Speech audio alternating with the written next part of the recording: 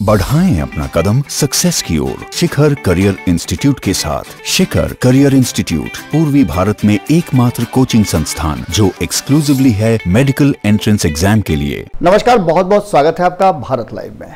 बहुत ज़रूरी है।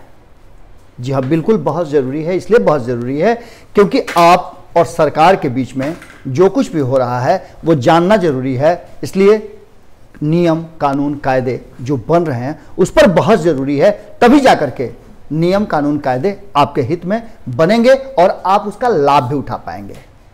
अब ये चर्चाएँ बिल्कुल आम हो गई हैं। जैसे भारत लाइव ने शुरू किया कि बहुत ज़रूरी है, ये बहस एक व्यापक पैमाने पर पूरे देश भर में शुरू हो चुकी है। बहस का सिलसिला जहाँ विपक्ष में शुरू हो चुका है, वहीं सरकारें भी अब बहस के मूड में आ गई हैं। और जिसका कारण आपको पता चला होगा कि 42-43 दिनों के बाद बिहार सरकार की नींद खुली है और वो बहस करने के लिए तैयार हो गई है। आपको पता ही होगा कि आज सर्वदलीय बैठक होगी और उसमें निश्चित रूप से कोई दूसरा कारण तो होगा नहीं, बहस ही होगी। और बहुत ज़रूरी हम इसलिए कार्यक्रम लेकर के आए हैं कि इसके माध्यम से सरकार की नीतियों का हम पूरी तरह से इसमें चीरफाड़ करते हैं और आपके सामने आपके हिसाब से, आपके मसलब से उन चीज़ों को देखने का प्रयास करते हैं, आपके विचार लेते हैं, विपक्ष के विचार लेते हैं और सत्ता की बातों को हम कहने के लिए पूरा ये एपिसोड लेकर के आते हैं। एक तरफ़ जहाँ आपको जानकारी मिल ही गई होगी कि बिहार से बाहर फंसे प्रवासी मजदूरों के लिए, श्रमिकों के लिए सरकार कितनी तत्पर है?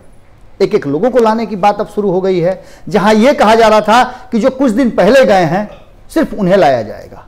लेकिन अब स्थिति यह है कि सभी लोगों के लाने की बात शुरू हो चुकी है। ये बातें पल पल, प्रतिपल बदल रही हैं और इसके पीछे कारण है कि कहीं ना कहीं बहस ज़रूरी है। बहस से ही सब कुछ निकल करके सामने आया है। भारत लाइव लगातार चीज़ों को आपके सामने रखता आ रहा है। इसके साथ ही सरकार की नीतियों को भी रखता आ रहा है। अब एक नई बात सामने आई है। आज जो कुछ भी सर्वदलीय बैठक में होगा, वो तो आपके सामने आएगा ही। लेकिन उससे पहले एक खबर बहुत ज़रूरी है क्योंकि बहुत ज़रूरी है आपके सामने रखना है। हम आपके सामने जो खबर रखने जा रहे हैं, वो खबर यह है कि बिहार के लोग या देश भर में जहाँ भी जिस राज्य के लोग फंसे हुए हैं, उन लोगों को लाने की प्रक्रिया तो के साथ साथ अब विदेशों से लाने वाले लोगों को भी वापसी की आस जग गई है। सरकार ने उसके लिए नीति और नियम बना दिए हैं।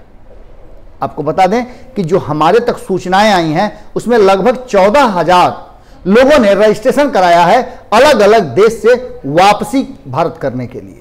और सरकार के पास इसकी सूचनाएँ आ गई हैं और सरकार ने इस पर अपने नीतिगत फैसले भी ले लिए हैं।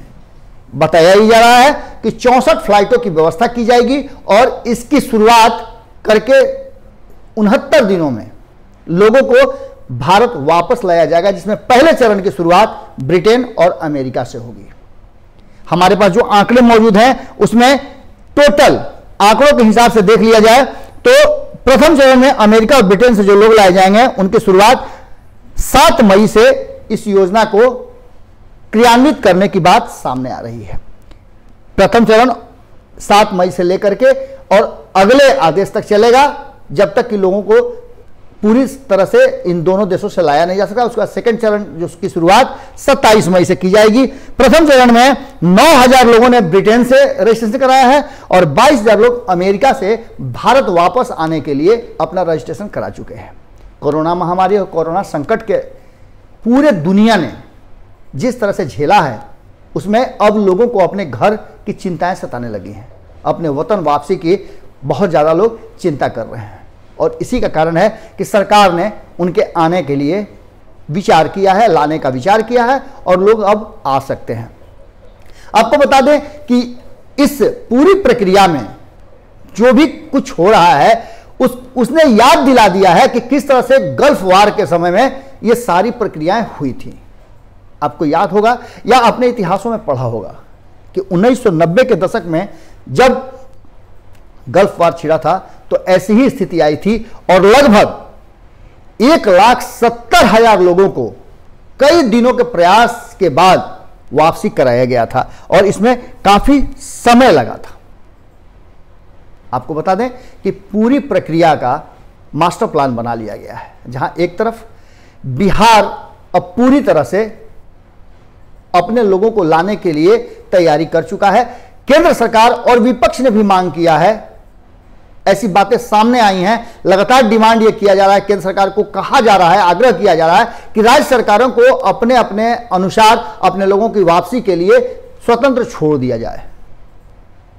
ऐसे ही अब केंद्र सरकार जो है, विदेश से लोगों को वापस लाने के लिए अपनी नीतियाँ और योजनाओं पर फोकस करेगी। वहीं राज्य सरकारों को, अपने लोगों को देश के अंदर के अलग अलग हिस्सों से वापस लाने के लिए अपना काम करना होगा।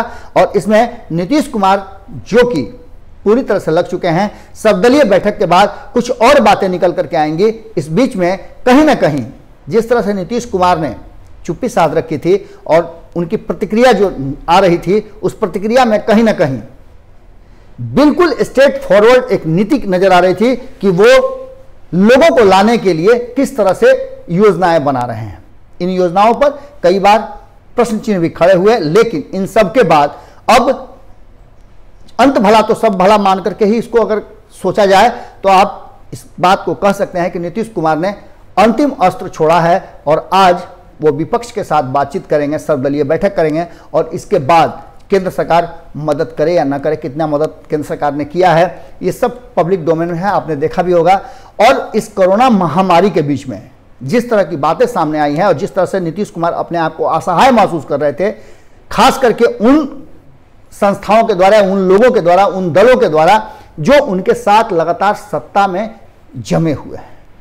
इस सब के बावजूद, अब नीतीश कुमार पर पूरा दारोमदार है कि कैसे बिहारियों को लाते हैं, क्योंकि अब केंद्र सरकार, यानी कि मोदी और अमित शाह की जोड़ी विदेश से देश लोगों को लाने के लिए अपने आप को पूरी तरह से तैयार कर चुकी है।